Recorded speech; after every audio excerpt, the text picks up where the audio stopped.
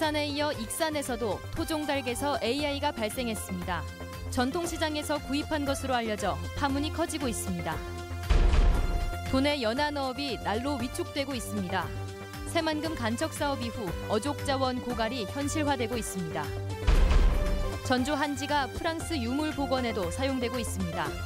하지만 원료인 당나무가 없어 해외에서 수입하는 형편입니다. 여러분 안녕하십니까? 전문권 뉴스입니다. 세월에 결코 발해서는 안 될 가치가 있습니다. 호국 영령들의 숭고한 뜻도 그런데요. 제62주년 현충일 추념식이 돈에서도 엄수됐습니다. 가뭄 속에 모처럼 내린 단비에 호국원에는 참배객들의 발길이 이어졌습니다. 보도에 강동엽 기자입니다. 차분한 분위기 속의 임실 호국원에는 하루 종일 추모의 발길이 이어졌습니다.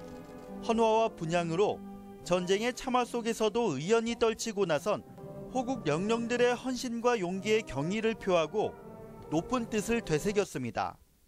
주저 없이 조국에 태워버린 당신의 영혼들이 걸음이 되어 지금 화려한 꽃으로 피어났습니다.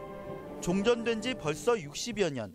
하지만 전쟁의 참상과 산화한 전우들의 기억은 여전히 생생합니다. 그토록 아끼던 조국을 지켜내고도 자리에 함께하지 못한 게 아쉽기만 합니다. 죽은 사람이 많아요. 내가 지금 89세인데 구사 일생으로 좀 살았다고 볼 수 있을까? 호국원 묘역에도 참배객들의 발길이 계속됐습니다. 정성스럽게 묘비를 챙기고 생전에 좋아하던 음식과 물품을 준비하며 그리움을 달랬습니다. 전쟁에 자원할 정도로 나라 사랑이 깊었던 아버지의 늠름한 모습이 오늘따라 유난히 더 보고 싶습니다. 6월달 되면 아버지가 생각 많이 나죠. 6.25 이제 참여할 때 그때는 참 고생도 많이 하셨고 항상 군번 같은 걸 항상 애우고 계시더라고요. 임실 호국원뿐 아니라 전주 군경묘지와 무주 충원탑 등 도내 곳곳에서도 수많은 참배객이 호국 영령들의 넋을 기렸습니다. MBC 뉴스 강동엽입니다. 군산에서 조류 인플루엔자 AI가 발생한 지 사흘 만에 추가로 AI가 확인됐습니다. 이번에는 익산 오산인데요. 전통시장에서 구입한 토종 닭으로 밝혀지면서 파장 확산이 불가피하게 됐습니다. 유룡 기자입니다. 익산시 오산면의 한 개인주택에 출입금지 팻말이 세워졌습니다. 얼마 전 전통시장에서 구입해 키우던 토종닭 21마리 가운데 7마리가 폐사해 검사한 결과 AI 바이러스 양성 반응이 나왔습니다. 여지껏 안 키다가 올해 처음 켰어. 이제 막 사다 놓은 지 얼마 안 되는 걸 거야. 익산 북부시장과 완주 삼례시장에서 닭을 구입한 것으로 알려져 일단 지난 3일 AI가 발생한 군산 서수의 오골계 농장과는 관련이 없는 것으로 추정됩니다. 하지만 또 다른 경로로 전통시장에 AI 바이러스가 확산되고 있을 가능성이 높아 시장 상인들도 불안감을 감추지 못하고 있습니다. 사실은 걱정이죠. 걱정이지. 대책이 없으니까요. 방역 당국은 주택에 남아 있던 토종닭을 살처분하는 한편 반경 10km 방역대에 포함된 농장 40여 군데에 이동 제한을 명령했습니다. 하림이 있는 양계 밀집 지역이어서 해당되는 가금이 200만 마리가 넘습니다.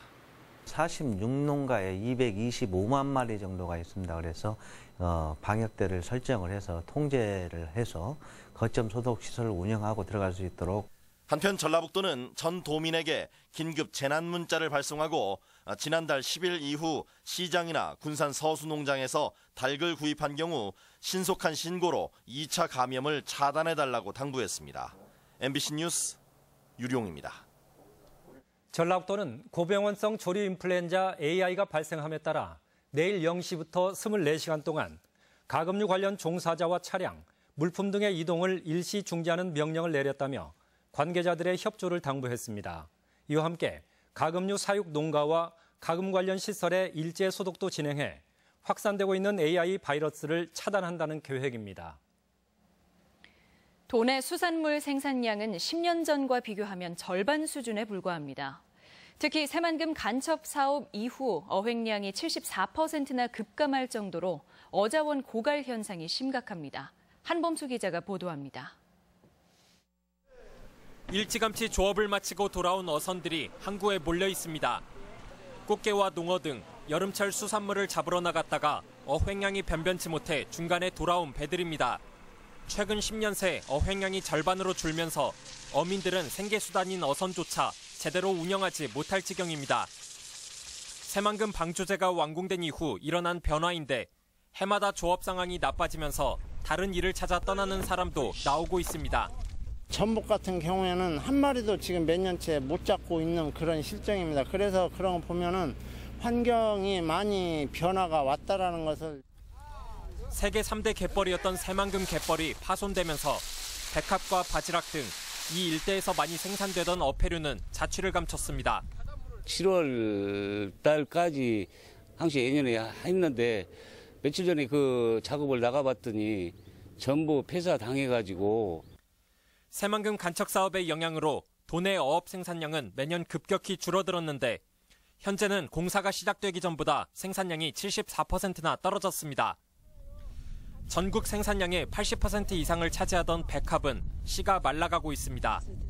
취업 방류 사업을 대대적으로 시행을 해서 어민들한테 소득을 올릴 수 있도록 많은 그 방류 사업을 시행. 우리와는 달리 인근 전남과 충남은 어획량이 늘고 있어 소중한 자산인 수산 자원을 복구하기 위한 대책이 시급해 보입니다. MBC 뉴스 한범수입니다. 전라북도는 정부의 추경 예산이 사회 서비스 일자리와 노인 일자리 등에 집중되면서 많은 예산이 지역에 배분될 수 있도록 지역 일자리 발굴 등 관련 사업을 추진합니다. 정부의 추경은 11조 원가량으로 예상되는데 노인 일자리 3만 개 확대, 치매 지원센터의 전국 시군구 확대 등이 주요 사업입니다.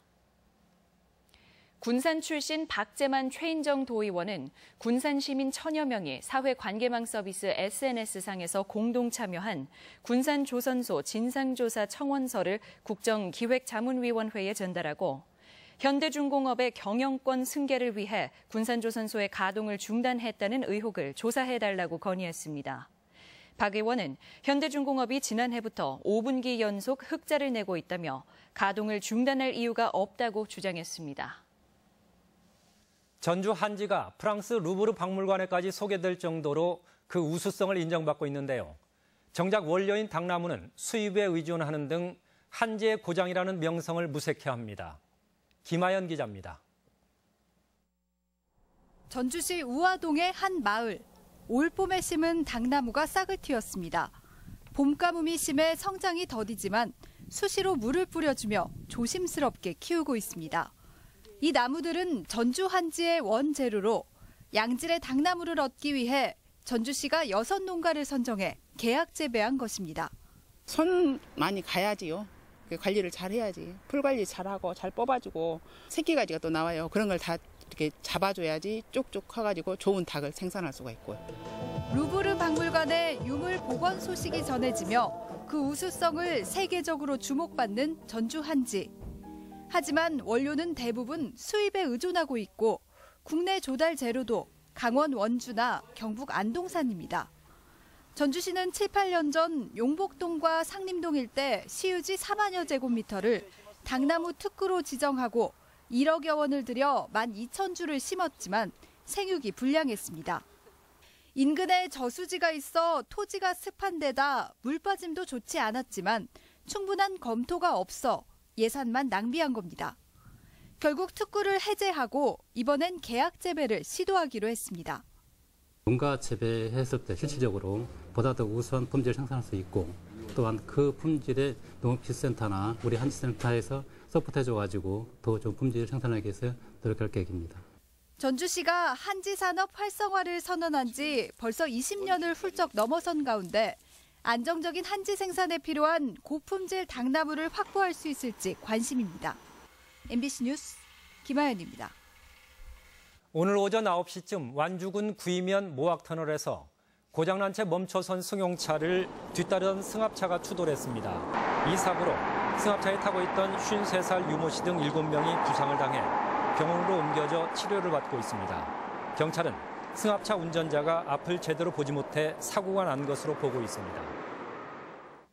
새만금 지방환경청이 도내 날림먼지 사업장 30곳을 점검한 결과 절반인 15곳에서 쌓아놓은 물질에 먼지 날림 방지 덮개를 덮지 않거나 수송 차량에 물을 뿌리지 않는 등의 위반 사항이 적발됐습니다.